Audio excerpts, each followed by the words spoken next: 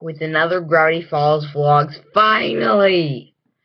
And boy, was the Tale of Two Stans one of the series' best episodes, hands down. Um, it had action, it had um, J.K. Simmons, it it answered all of my questions, all kinds of questions. And what do I love about it? Well, so this wasn't a big reveal episode aside from the backstory and stuff. So we know this. So our Stanford that we know is Stanley. And the Stanley that we thought we knew is Stanford. Confusing, as it kind of is. Um, but no. That was hands down amazing. And it shows the relationship that um, the twins have. Uh, both, well, the, the Stan twins have.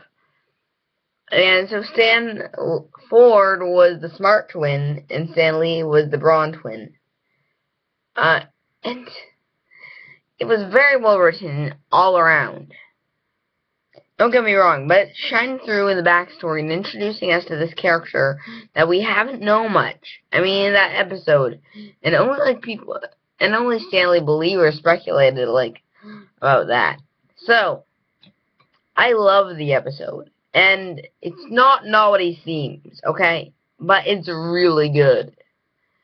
I'll tell you, it's better than Steven Universe's we um Cry for Help this today at least.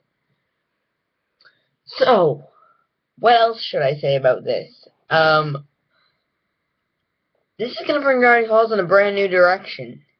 Stan both Stans are having a bit of a falling out again too. So